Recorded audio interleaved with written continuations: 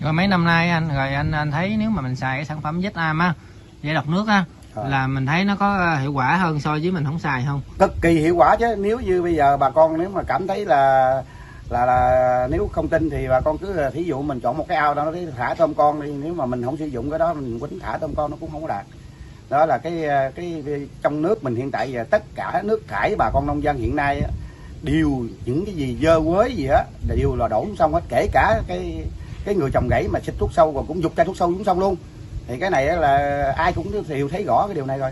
Cho nên là mình sẽ khử cái này này là muốn nuôi con tôm trong thời gian giai đoạn hiện nay là cái khử kim loại nặng này là bằng cái à, giải độc nước đó là cái đó là chính yếu nhất trong vấn đề nuôi tôm hiện nay. À, hay nên xài cái đó là số lượng phải nhiều. Nó đảm bảo như vậy thì con tôm mình mai ra nó, nó hạn chế rủi ro đến độ thấp nhất. À, người ta nói là nuôi tôm là nuôi nước thì à, cái nước là rất, rất quan trọng rồi. Thì thứ hai là cái thức ăn. Thì theo anh anh xài cái sản phẩm mà vết am này á, nhiều năm rồi. Thì ví dụ như cho điểm 10 điểm á là anh cho nó mấy điểm?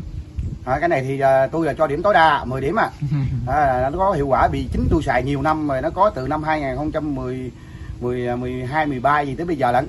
Đó là cái giai đoạn đó mình không lo xa xa quá không nhớ. Nhưng mà đó là tôi có xài thường xuyên cho đến bây giờ. Thì là cái đó là hiệu quả rất cao Dạ là khử cái kim loại nặng và thuốc sâu trong à, cái à, Trong cái kinh mương rồi mình để mình cấp vô mình à, cải tạo ban đầu rồi vụ lúa cũng như là mình cấp nước vô rồi mình xử lý